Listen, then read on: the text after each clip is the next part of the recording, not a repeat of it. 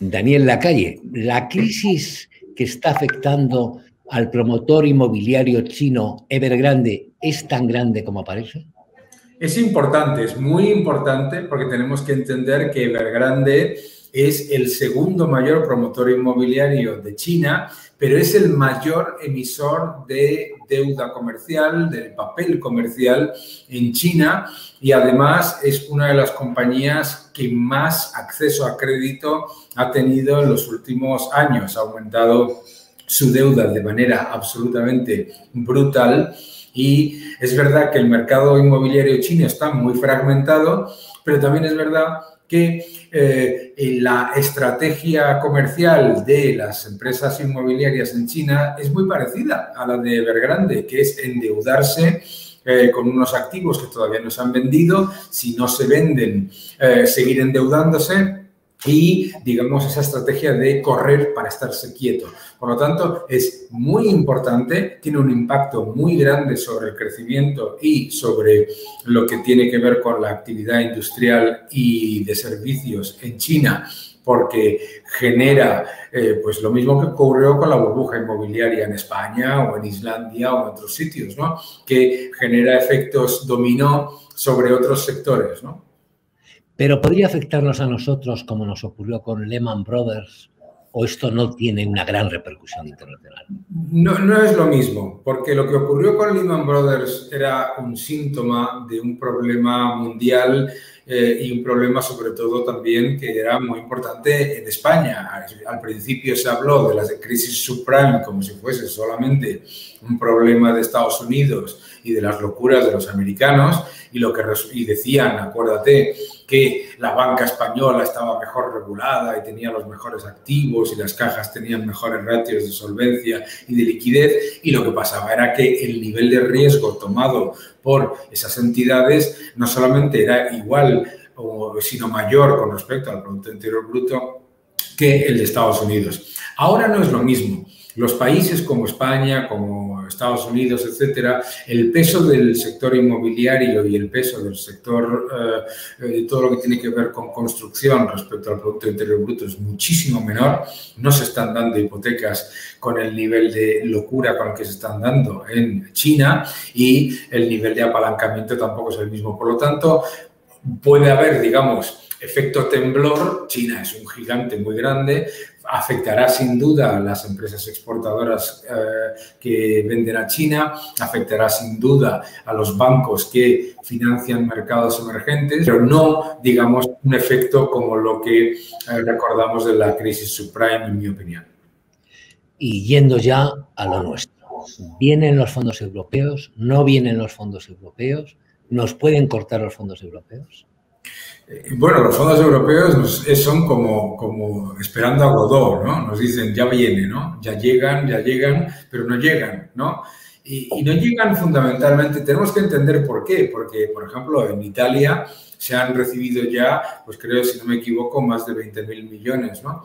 La razón por la que se están retrasando en España es por tres factores. El primero es porque el gobierno ha eh, montado un sistema, este famoso llamado de PERTES, de, para, para la recepción de los fondos y la presentación de proyectos, que es una auténtica maraña burocrática y que genera muchos más problemas que, que beneficios. El segundo es porque eh, muchas de las reformas estructurales que estaban ligadas a la recepción de esos fondos o no se han hecho o se han presentado contra reformas, que es lo que estamos viendo con la reforma laboral o la de las pensiones.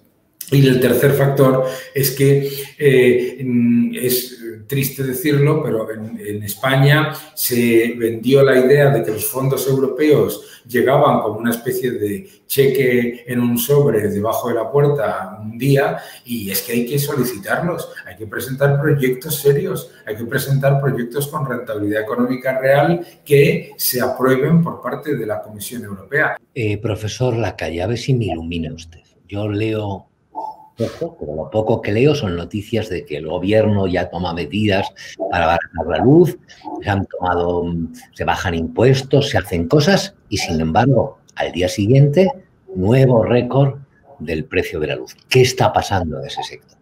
Bueno, lo que está pasando en el precio de la luz es fundamentalmente tenemos un mix energético en toda la Unión Europea muy dependiente de las renovables. Las renovables funcionan alrededor de un 20%, entonces cuando la demanda no la cubren las renovables, hay que tirar de gas. Y, el gas en los mercados internacionales ha subido un 200% en lo que llevamos de año y además el otro factor muy importante en el precio de la luz es el CO2. Los derechos de emisión de CO2 que venden los estados es un impuesto indirecto por el cual el gobierno va a recaudar más de 2.300 millones. Esos dos efectos son los que afectan al precio de la luz mayorista. El precio de la luz mayorista en España no es mayor al de países de nuestro entorno. Lo que ha presentado el gobierno primero, es una maraña de inseguridad jurídica que le va a llevar a litigios con las empresas porque introduce aleatoriedad, introduce completa y absoluta inseguridad en cuanto a los contratos, desconocimiento en el sector porque además el Real Decreto está planteado como si toda la energía se vendiese al precio mayorista, cuando más del 65% se vende eh, con contratos bilaterales a medio plazo. Y lo más importante del, decreto es que no soluciona absolutamente nada, porque es un, es, una, es un truco trilero, ¿no? Porque lo que hace es que el precio, dice que van a eh, limitar el precio del gas, pero lo único que hacen es pasarte la factura a marzo. Es decir, es generar un déficit de tarifa, que es básicamente que lo que no te cobran ahora te lo van a cobrar en marzo y te van a decir que han bajado la, eh, la factura de la luz. Y para concluir, ¿está mejorando la economía española? ¿Está por fin tirando o todavía no tira? Bueno, en la economía española hemos visto, obviamente, como no podía ser de otra manera, el efecto rebote de una eh, reapertura importante. Y eso, obviamente, claramente, pues genera unos datos que año con año parecen muy atractivos, porque si los comparas con 2019, estamos todavía muy por debajo de los niveles donde estábamos antes de la crisis. Pero hay factores que a mí me preocupan mucho, ¿no? Si tú ves los datos del Instituto Nacional de Estadística, los salarios en España han bajado en la mayoría de los sectores, de hecho en todos los sectores, menos en uno, eh, con los datos del segundo trimestre. Si ves los datos de consumo, eh, llegaron a un pico aproximadamente en junio, ¿no? Entonces, lo que nos estamos eh, acostumbrándose a pensar en una recuperación basada en un rebote que ha llegado a su pico entre junio y julio. ¿no? Entonces, a mí eh, lo que me preocupa es el invierno, me preocupa cómo va a responder la economía ante los retos de un aumento de la inflación. La inflación es muy negativa para el consumo y para la inversión. El segundo es la ralentización que estamos viendo en otras economías de nuestro entorno que están mucho mejor que nosotros, pero nosotros son socios comerciales nuestros. Y el tercer elemento es, vamos a ver qué es lo que ocurre con el paro entre septiembre y diciembre, porque entre la contrarreforma laboral y eh, qué es lo que va a pasar con los ERTE, hay una enorme incertidumbre en el, eh, en el sector empresarial. O sea que esto no pinta bien.